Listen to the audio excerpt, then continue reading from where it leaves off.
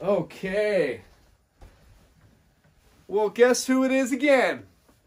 Miss Victoria Gallegos. Victoria on March 10th, my 44th birthday, sent me $44 Venmo donation to say happy birthday for your 44th birthday. And here's a dollar per year that you've made it through this this this life, this situation, this rough rough situation called life. So Victoria, thank you. And I know you're going through it.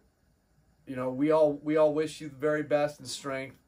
When she sent that to us, guys, it was she was on, on the live feed for my birthday, and Victoria's actually in in the hospital right now, going through a bunch of stuff right now. So we're all there with you.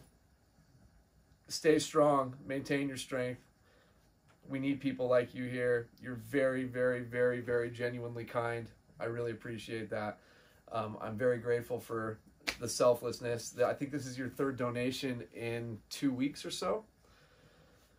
Amazing, extremely helpful, extremely helpful. I just hope that you're you're you're fighting hard enough, doing everything you can to help yourself right now because the world needs you.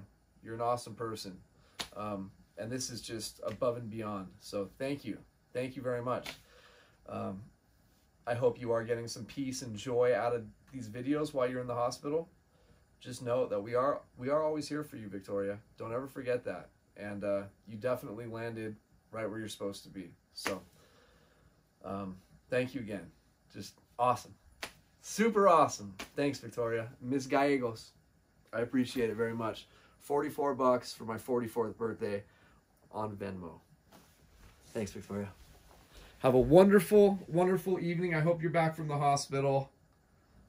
Just hang in there, okay, my buddy?